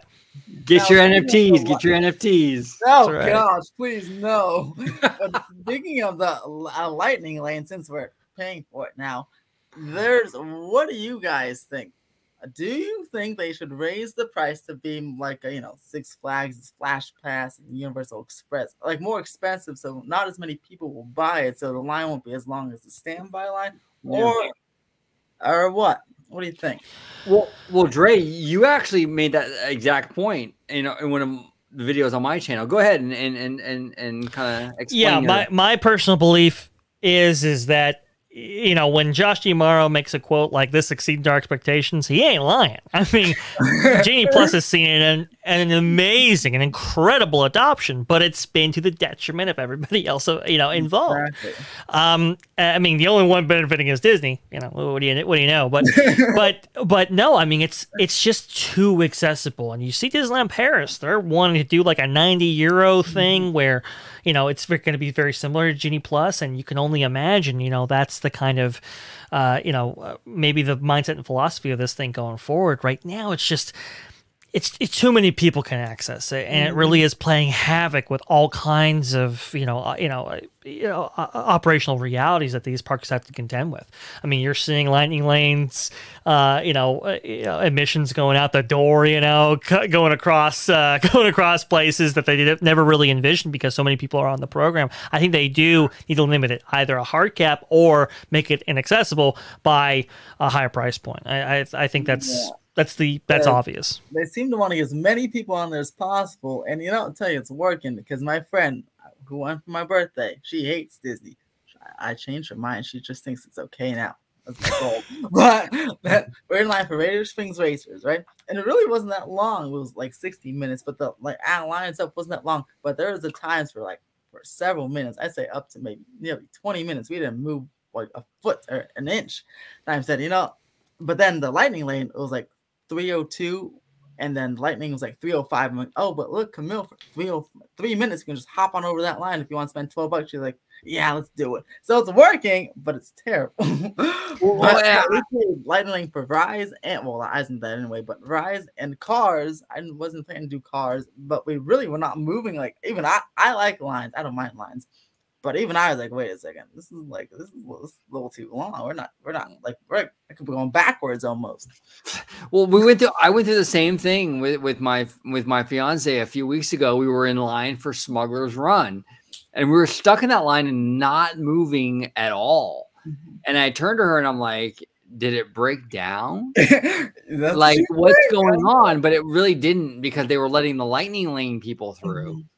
Like, just they they, they were only like they were zero. They were like zeroed in. Yeah. Yeah, only on them, and they were just letting them through, letting them through, letting them through, letting them through, and we're like- standing like, there half an hour. Commoners over there. This is lucrative customers coming down here. I mean, the I mean, and you guys aren't wrong. The ratios that I've been hearing. I mean, I've been hearing. I mean, previously it was like eighty to one or whatever. I'm hearing one hundred to one, one hundred and ten to one, one hundred and twenty to one. Hundred people before one person the standby Yeah. moves. I mean, that's a lot. That's that's not going to be. That's not going to be pleasant. And by the No. way, when we went, when we paid, where it took to get go out of line and go get on into our car took five minutes. We we never stopped walking. I was like, wow. She's like, yeah, this Wow. is great. I'm like, but if "Yeah, you really no." but if you really think about it yes it, it, it is one of those things where it's like okay because we now have to pay for individual attractions yes for us it stinks because we're so used to having that free fast pass option for disney it's a gold mine but if you really stop and you think that if you really want to have an enjoyable experience, that if you're already going to be forking out the money anyway, people pay six to eight dollars for one cup of coffee at Starbucks. Right. And it's like if you're gonna do that, you know, it's gonna go, you know, in your system, in your bladder, you piss it out 15 minutes later. You might as well put out the twelve dollars well, to go ride a ride. No, you're right. They raise it up to the Universal Express at least seventy five, something where you Right. know if you you really that way you you get what you pay for. You're not in standing Right. market line. You're- right. And it's interesting- $75, You can go on Universal Express. You can do the shows. You can do the rides. You just walk right in for the most part. But now, when you mentioned about the Universal Express, because I actually had some issues with that as far as You over here in? Orlando. Oh, yeah, because I was getting the package and I thought I'll just add that on Mhm. to to my package. It would have cost an extra three thousand dollars to add the express for a week. Oh, That is man. like a whole nother package that I could have spent at Walt Disney World. that is a lot. So when uh, when people say, like "Oh, it- just," and it, it can benefit you, right. but they also told me that Hagrid's and Velocicoaster wasn't even part of that. And I'm like, oh hell! If I'm going to do that, I might as well should just stand in the regular basic line. Yeah. Well, and that's the thing, and that's the thing that I've been saying all along is that when you when you really when you take a microscope to the other companies, like because Mm. everyone's got zero in zeroed in on Disney, everyone's watching them like a hawk. But when you when you do the same when you apply the same kind of scrutiny to Universal, they're not that much different, you guys. Comcast is a mega multinational conglomerate. They're just as fucking greedy as Disney. They don't. They're not your friend. They, they're not trying to like just do you a charity. They're just as much in it for the money as Disney. And Mhm. like George mentioned it, they're honestly the same. You know. They're Yeah, I mean- So I will say to all you listening and watching out there, for every specialty Starbucks drink that you buy, for each boba ball that you suck through your paper straw, just think that's one attraction down that you could have been riding at Disney. right. It's But here's the thing- like Mar uh, Disney is kind of like DC, where they all, they all get the hate and the Yeah. bashing, and then Marvel is like all the other places where they, oh, it's okay, Universal, give them a pass. Oh, it's okay, Yeah. Marvel, we just give them a pass, even though they made you the same things. It's uh, kind Same of funny that way. Well, and that's the thing too. And and here's the thing too. As a local, I'm not gonna pay for Lightning Lane. Like I'm a big I'm a big Disney shill, right? I don't. I, I'll admit it. But I'm not gonna pay to go on any attraction. I really don't care. I go to the park all the time. I can I can skip Big Thunder or Rise of the Resistance this visit. I don't really care. Now, if I can, if I if I'm if I'm with people that are like doing like a once in a lifetime visit, oh yeah, I'm gonna pay for Rise of the Resistance. I'll, I'll just shell up Mhm. 20 bucks. Why not? You know, fuck it. But yeah, it's all depends on your experience. You know, like all of us here are, are pretty like frequent visitors. So for us, it doesn't really feel worth it. But man, for that once in a lifetime, you're coming from Japan and it's your one time to go to Disneyland. Yeah, you're gonna pay it. Why not? I You mean, I've talked- I've talked about it before, but I mean, look, listen, you know, when you have an annual pass and you're spreading that out through a, a whole year or whatever, or, you know, whatever whatever your arrangement might be, that doesn't necessarily hit you the same way as if you're paying per, you know, per, per ticket per day or whatever. And now you're talking about, hey, it's you know, it's 100, 150 just to walk in the door. You're talking about maybe fifteen dollars per hour average just to stand in the park. So it's like, well, when you're offered, hey, skip the line for twenty bucks, it's like, well, now I'm making money, kind of thing, right? So it's Right. it, you know. It- It's another. It's a different economic investment when you're looking at it from that standpoint versus annual pass holder, and you know that's for some people that makes a lot of sense. Now, there Yeah. I do know that there are certain. I don't know if they still exist today. There are certain amusement parks that require you that you have to buy individual tickets for specific attractions, or I should say, Yeah, buy um, a number of what do you call tickets. The and like, um, and if you buy just to say twenty tickets, uh, and there's a specific ride that says, okay, for six tickets, you can ride this. So you give them six tickets out of the 20, or this mhm. requires two tickets to ride this. So it's like, yeah, it does. Like, like Vash is like looking at me like, what the fuck are you talking about? Yeah, the, But I, the- they, I, they have existed. I don't know if they still The- exist You're today. talking about like a state fair. well, basically like a fair. But the Adventure Dome in Vegas has that. You can just pay per ride, or you can just buy an all-day wristband. But thing. but the caveat to that was you didn't pay for park admission. You just paid Yeah. for the tickets to Yeah. get Adventure on Dome- the rides. yeah, Adventure Dome, you just walk right in, and you, just, and you can just walk around, or you pay for a thing. That was Yeah. the idea for DCA. If they if it wasn't gonna get you know, you see, I told the story before. If they weren't able to get the you know funding required or get the approvals required for uh, to redo DCA, one of the other you know uh, other ideas was, hey, make California Adventure this kind of you know f- free entry, so to speak, and then have everything ticketed on the back end. I mean, that was the idea there. It's crazy. It's absolutely crazy. Yeah, you know, man, here's the thing. Like I I kind of agree like with Universal on this because Universal is more expensive for that Mhm. lightning lane. I know they call it something else, but that same kind Express of Pass, experience. The Express, Express Pass. Yep. I, I agree with them. I think you should charge more. You make it ex- you make it super exclusive, Yeah. and then it then it really is value because yeah you're paying more, but you, you're getting on these rides like in five minutes. And but also it uh, includes every. I do how like includes everything like the shows at Waterworld and Wax. You just pop right in there. So Right. shows and rides, and you just but it's like a, like super expensive price. But you get to like walk on everything, and if you get the unlimited, as much as you want.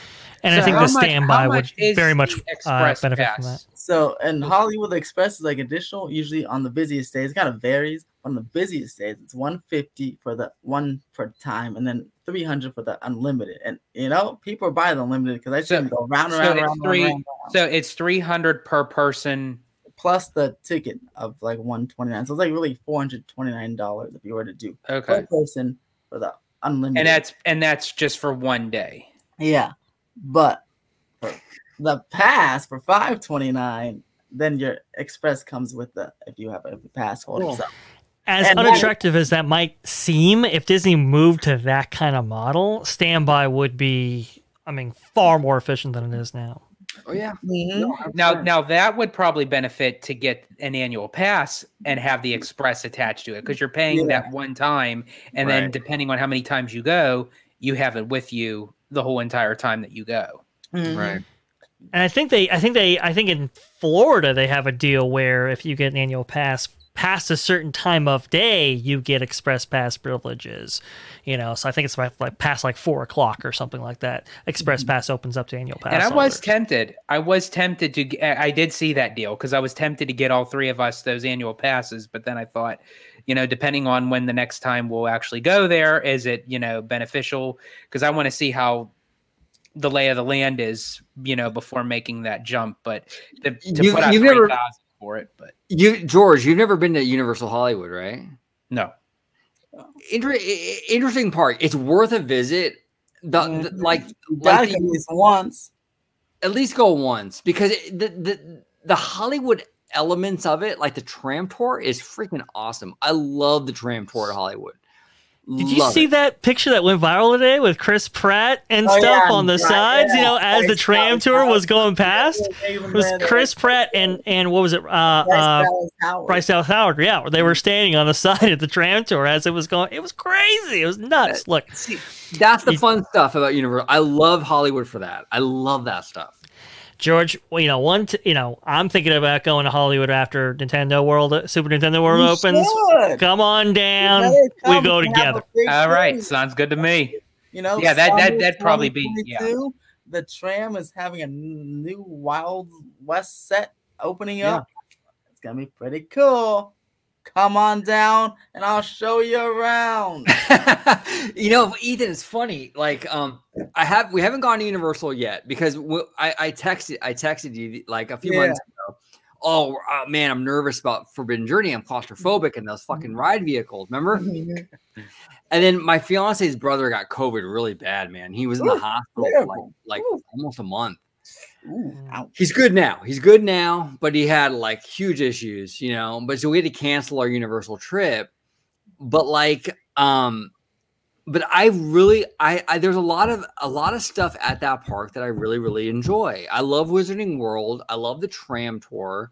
It's fun. There's a lot of cool stuff. I haven't been honestly since like I think it was like 2016 was the last time I went. You're gonna be you're gonna love Secret Life of Pets. Uh, you Yeah. may not like the restraints. I want to see you know, it. I want to see it. Secret Life of Pets is like whoa. But Dude. uh, Mr. Vashkai, I will take you up on that offer when Nintendo opens and you you go. I'll be right there with you. Yeah, I mean, no, uh, absolutely, hundred percent. Look, the the traffic to there can be really bad. That's something you got to account for. But once you're there, you're there. Going back's no problem because end of the day, whatever. But but there's there's stuff I want to see, like Secret Life of Pets and all that kind of stuff. Super Nintendo World's opening up soon. You guys we definitely got to do it. Make a day of it. Hey Yeah. Dre, you know what?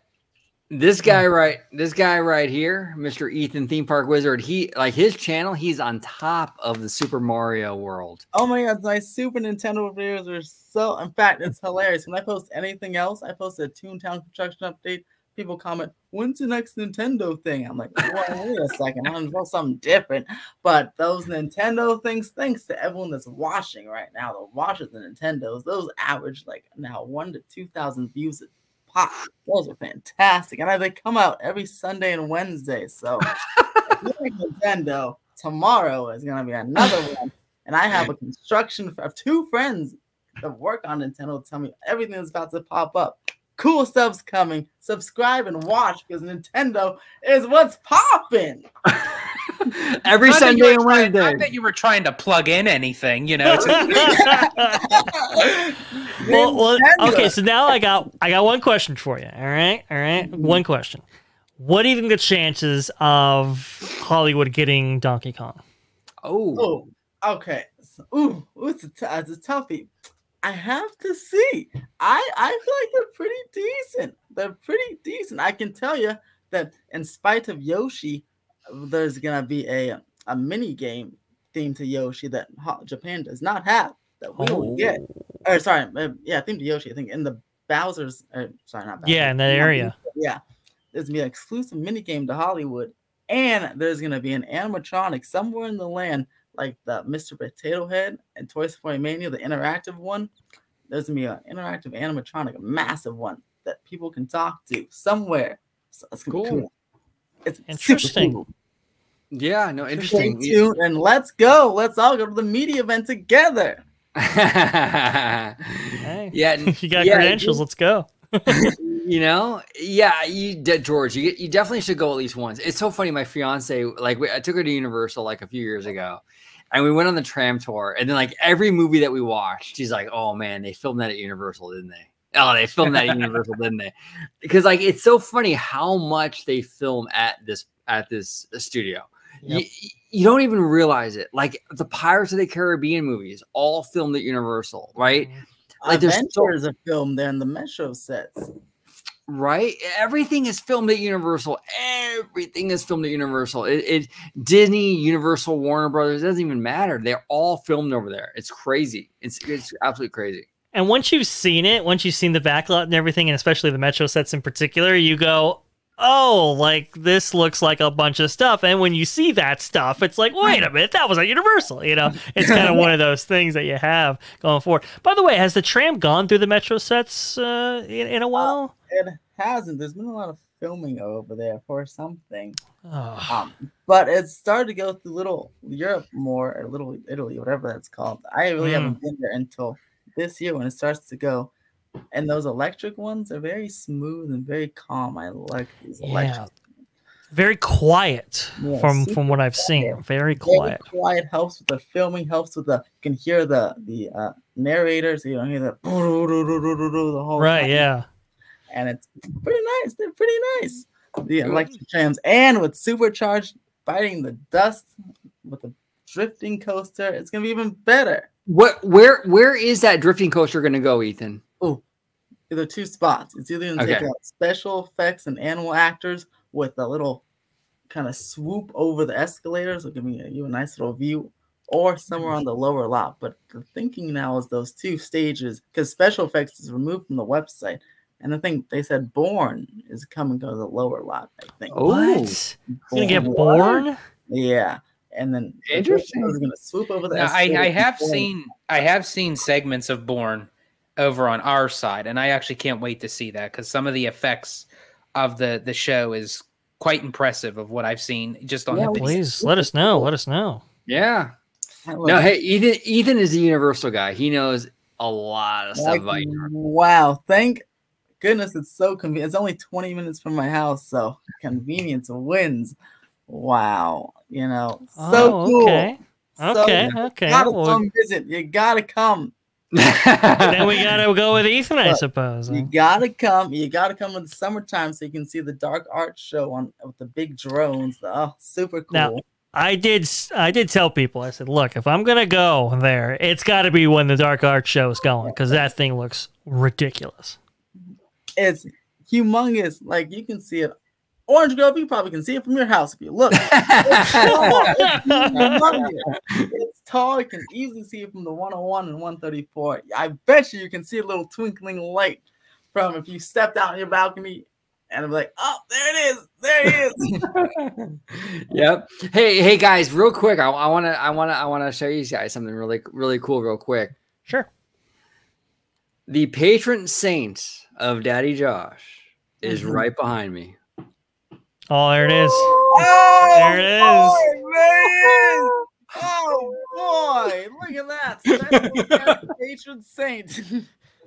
and Grogu, I see you over there, Grogu, with the looking all cool with your backwards hat. I don't know, little guy. I got Oh, yeah, he's right hold on, hold on. How they haven't capitalized on Grogu in the that- parks? Well, we got well, they got now Grogu Crazy. merch. They got Grogu merch added, but it's like, okay, we got enough merch. It's like I want to see Grogu. Like I want to see him. yes, There he is. there he is. There's the man. Battle One of the and only.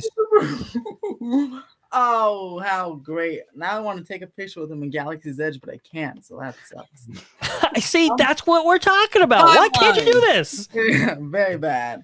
Very bad. Maybe They're soon. talking about capitalizing on money. I'm for sure people would pay big time money for a lightning lane to get a picture with with him. I'll even Could give you him an? NFT. yeah, there you go. Right. That the out the thing NFTs. NFT for. no, I.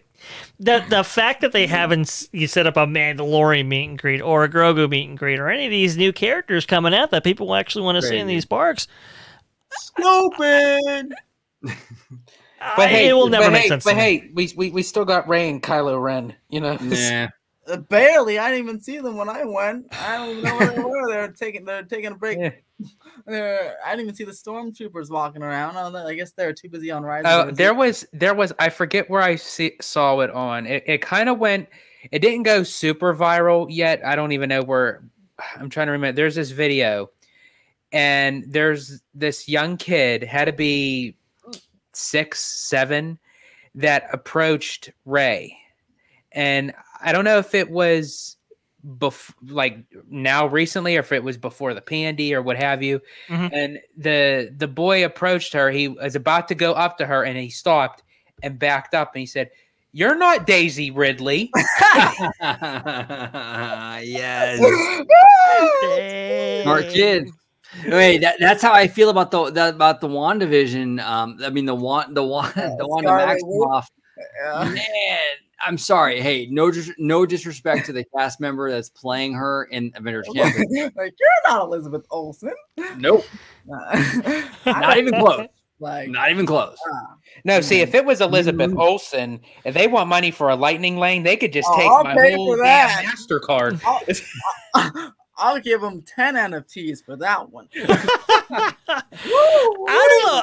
You know, you bring up an interesting point, guys. Have you seen some of these meet and greets? Uh, look, listen, I know Have you there are labor Anna and issues, elsa right? Have you seen Anna and Elsa that when they did the reopening at Walt Disney World?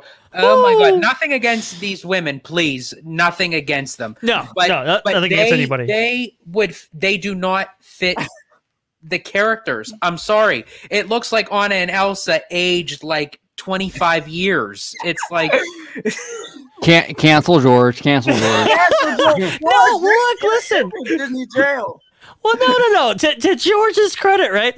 The- it- look, the, usually the, the the requirements for some of these roles are so strict. They are so strict in terms of of who they uh, previously hired and who could actually play these roles. But but look, now in the age of labor shortages and hey, we, we need people to fill a role. It, it, it, it, it looks like they're doing just that. Uh, just saying, just saying. Yes. Oh man, and uh, yeah, that's why more. I don't know but does Disney have? I guess they do. Well, because I, cause, yeah, because I heard to be a costume performer. I mean, they say it. I mean, I don't know how the process is now, but I mean, they said it's harder th- to do that than to get into Harvard. Like, I mean, like it's like a process. Yeah, but yes. see, if you do things like I don't know, more of them like you know, Universal is like Megatron and and the, the Raptors, you know, those can't age. So if Disney has like some non-face characters, yeah, we're gonna get a bunch of Tokyo. Yeah. We're gonna get a bunch of Tokyo type characters where it's like, wait a minute, that was a god, was a face character before. yeah. Um, well, the fairy godmother or uh, Jessica Rabbit. Oh, fairy godmother. I'm, I'm gonna go with Jessica about. Rabbit. Yeah. I'll go with Jessica Rabbit and and yes, Roger Rabbit is coming back. I'm 99% sure. So it absolutely people, is. You people that uh, see the carts, they're just you know. Well, and especially they just updated the ride. They're not going to yeah. update it to just to shut it down. Yeah, exactly. just because there's some cars on the back of a truck, they're not going to sit there getting dusty. They're cutting the whole thing. They're nah. getting nice little refurb people. Crazy. Yeah, Disney went through this whole thing to sort of pat themselves on the back. Look how look how progressive we are. We're putting a coat on Jessica Rabbit to cover her up. Hey, yeah, it, do that. it, it took that hey, it only took an extra 25 it only took an extra 25 dollars just to add a trench coat and a hat on her oh, man well my goodness thank you so much for coming on i could talk to you for hours now i'm gonna have to come back on because feel like there's a lot of stuff we didn't talk about. You got to come back on. We'll do it. Yeah. Where can we find you, Orange Grove? You can find me on YouTube with these crazy kids down below, Mr. uh, Citrus Corner and Mr. Freshly Squeezed at Orangegrove 55 on YouTube. Check us out. We do a lot of the same kind of content that Mr. Ethan, uh, Mr. Wizard does here. Um, we just kind of talk. Well, we focus mostly on Disney, to be quite mm-hmm. honest. We talk about about Disney parks. We we focus a lot on Disneyland Resort, Walt Disney World. We also dive into like Hollywood. Um, we we do like an Orange Nerd show, or we do like a lot of streaming and film stuff. So, but yeah, it's it's all kind of Disney related, you know, sort of stuff. But uh, check us out when you, when you get a chance. Check us out. Um, you know, YouTube Orangegrove fifty five. Disney Family Man, where can we find you? Absolutely. Well, you can find me on my YouTube channel, Disney Family Man 23. Uh, you can you can you can also interact with me on Twitter, and please, uh, Lord knows how many uh, things I'm going to get after this video. at Disney Cancel George. Yes. but you can find me on Twitter at Disney George. And of course, as Mr. OG had mentioned, you can find me on his channel, Orangegrove 55 with Citrus Corner. AKA the Florida Corner. And then yes. Bash Guy! That's it. That's it. Oh, I do appreciate it. Uh, look, listen. If you want to follow me, uh, you can you can do so at Fast Guy right down there for the very robust discussion. Lots of discussion on there for sure. And if you want to see me, well, it's on the it's on Orangegrove 55 at Freshly Squeezed, your source for juicy news and info squeezed fresh right from the Grove. Um, this drop by yeah, I'll play it. I'll play it. But really, nothing compares with a freshly squeezed. And that is out of the woo. Uh, you know, given the phrase, the freshly squeezed right there, uh, presumably. Thanks for watching. Subscribe for more theme park updates and have a fantastic day.